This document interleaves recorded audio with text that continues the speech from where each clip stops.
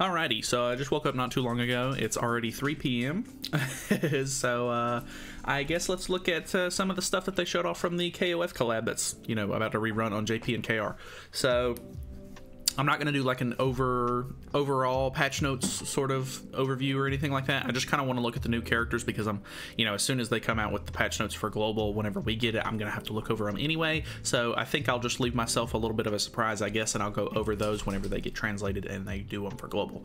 But uh, I do want to see the characters' animations, and we're going to look at the characters' skills just to see kind of how they are because I think that's pretty much the most important thing. Um, I, I, could, I, would just rather wait and see what the events and stuff like that have.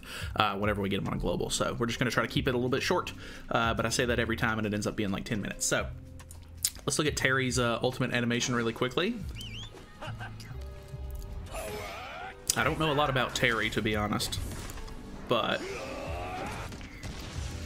that's pretty cool.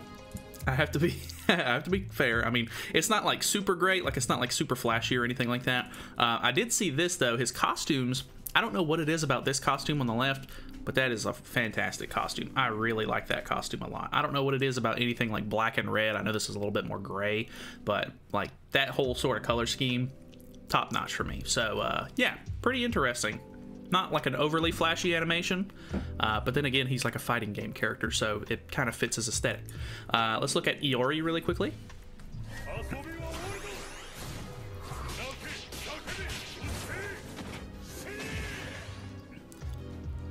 Okay.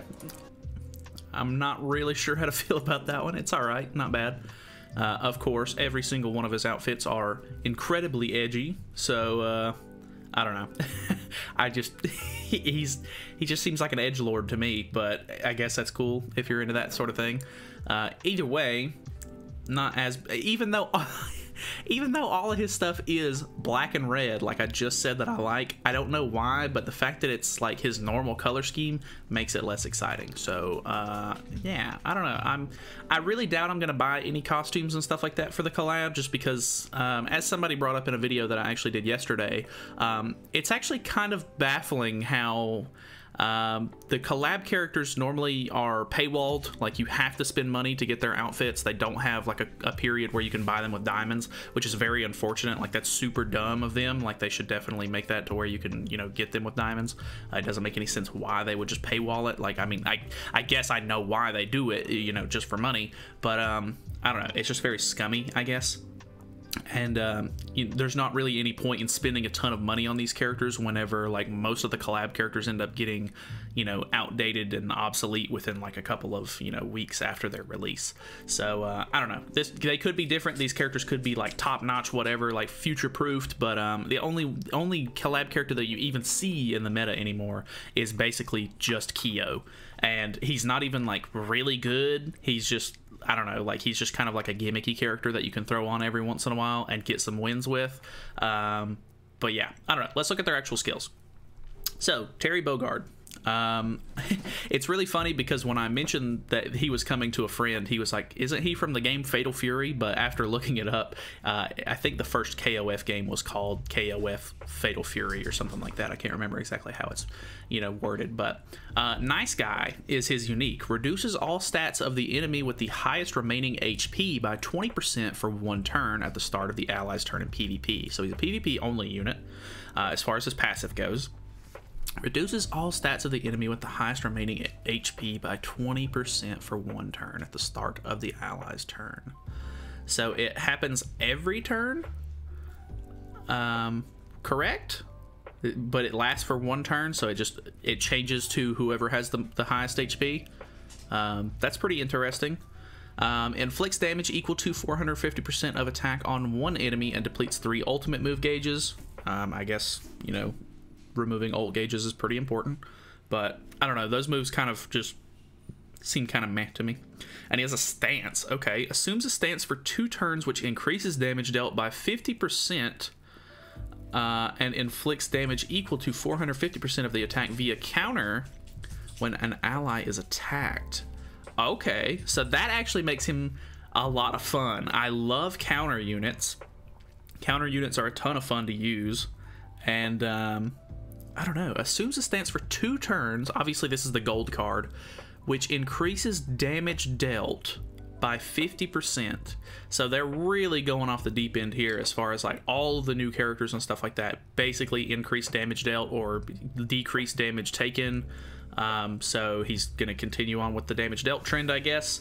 But um, yeah, that's that's pretty cool. Honestly, I think that's really really cool. Um, his ultimate is inflicts power strike damage equal to 490% of attack on all enemies. So it's an AoE power strike skill, which that sounds really strong. So that could end up being very, very good. Um, looking at Iori, um, die as it is. When the hero uses a skill for each ignite on the enemy, increases the damage dealt by 7% after the skill use uh, use increases the hero's attack related stats by 6% for three turns, stacks up to five times. So he is not limited to PvP, so that makes him a little bit more valuable, I think. Because um, you can use him in PvE scenarios. Um, inflicts co-destruction damage equal to 450 or 25% of attack on one enemy. Uh, if I'm not mistaken, co-destruction is just debuffed enemies, like it does uh, damage depending on how many debuffs they have on. I think um, and then, yeah.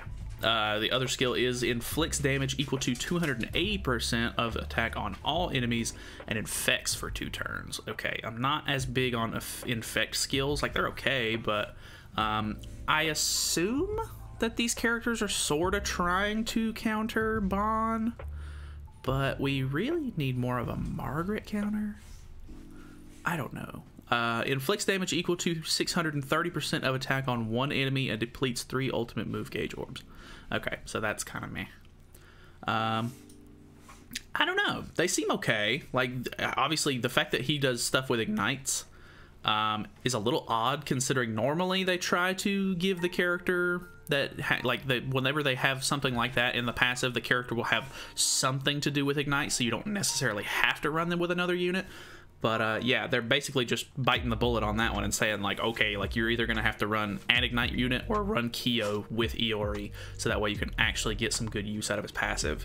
So that's pretty interesting. Um, don't know how to feel. I think I like Terry better just because I, I think Terry has the, you know, the what you call it, the skill, uh, the counter attack, which is pretty cool.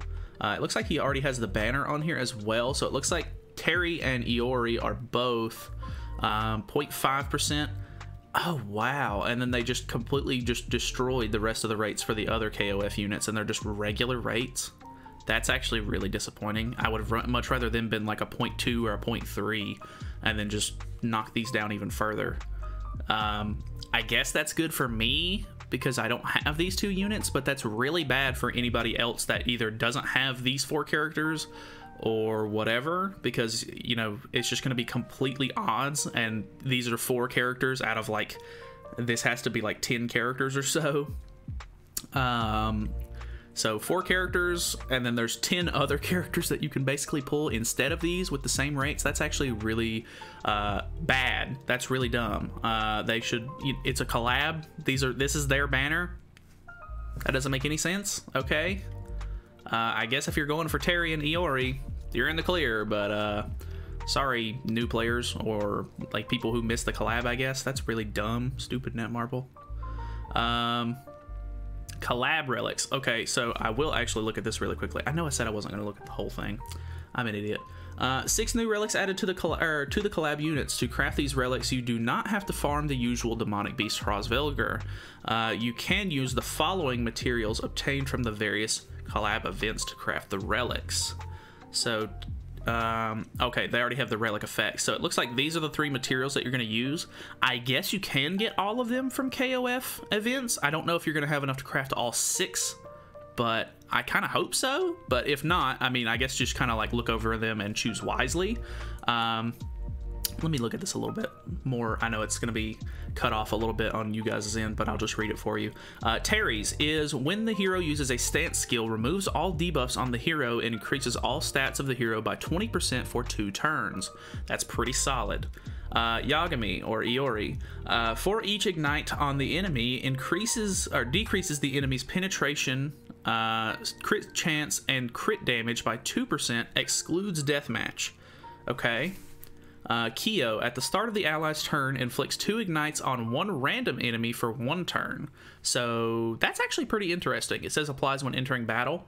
Um, so basically, one one additional hero is going to get two ignite stacks as soon as the battle starts. I don't know if that's necessarily that great because it's like a one and done sort of effect, but pretty interesting nonetheless. Athena, uh, when the hero receives damage greater than 30% of max HP, recovers HP by 40% of the damage received. That's pretty interesting, kind of tanky. Uh, when the hero receives a buff, for Mai, When the hero receives a buff, increases all allies' attack by 15%. So that one's actually pretty good because she already, like, whenever you merge skills or, like, rank up her skills in general, she gets, um, she gets three buffs, one for each of uh, her, like, main stats. So then she's going to get an additional or all increases all allies attack by 15%. Okay, so that's actually even better. That's honestly pretty good. Like I think Mai might might have one of the better ones.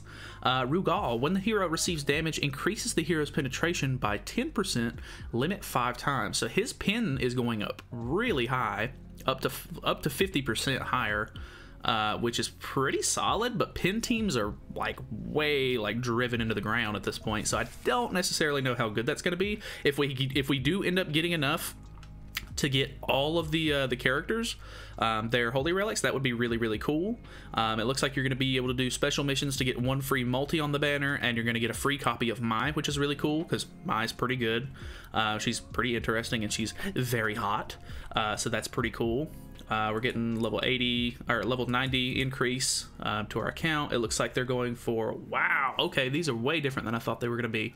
Um, six mil uh, box CC, eight mil box CC, 10 and 12 mil all, and then you get the respective rewards for those, which is really interesting. Um, I'm just gonna have to go over this whole thing. I feel bad. I said I wasn't going to, but hey, whatever. It is what it is. um, I don't know how much, how in depth he's gonna go with this whole constellation thing. I didn't actually think that they were adding this like right now, but uh, I guess they are. So seven constellations system added. I guess constellations was the correct thing. Uh, obviously, they look like they're doing a lot of stuff with stars, so that makes sense. Um, unlock the system when you have 80 or more units. It is a group growth system that allows you to acquire additional buffs and stats as you collect and grow more characters. Access the page by clicking Account Combat Class button on the character page. Unlock the next constellation by completing the previous one. When each of the constellations is complete, you get various rewards. Okay, so it's not like a it's not like a per character sort of thing, which I was really afraid of. I was like, "Oh my god, if I have to do one more thing for every single character, I'm just going to like bad things will happen. So it looks like you click on your account combat class, and then there's like maybe stages or some sort of like grid system. I know a lot of uh, gacha games have like grid systems for their characters to like upgrade stats and stuff like that, but I guess it's like going through the entire box. Like you're getting all these rewards for your entire like cast of characters. So that's really, really interesting. Uh, it looks like you have more of like a close up here. That's like what it looks like when it's completely full. Um, use growth points GP to activate all stones, red, green, and blue, and mana stone uh, in the in the constellation to get buffs. When the stone is activated, attack, defense, and HP stats will get or will be buffed. GP can be obtained when you obtain a new hero, evolve, awaken, super awaken, level up the ultimate move, obtain costumes. Okay, so that's very interesting. I wonder how much, like, for my account, I have like a bunch of stuff already. I wonder how much like initial GP I'll start with then. Um, Four, you can now skip animations on Gear Salvage slash Engrave, Character Evolve, Awaken, Super Awaken, Level Up, Ultimate. Okay, that's kind of cool, I guess.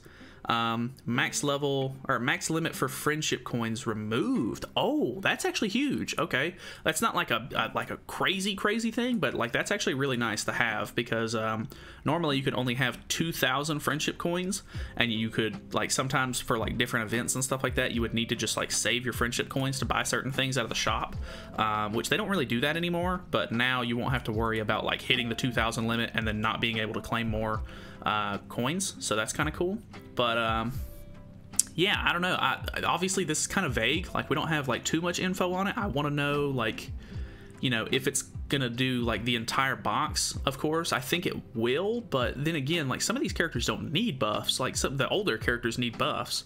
I wonder if it's gonna like increase characters differently, like depending on who they are. Like I wonder if they just have that sort of system already in place for it.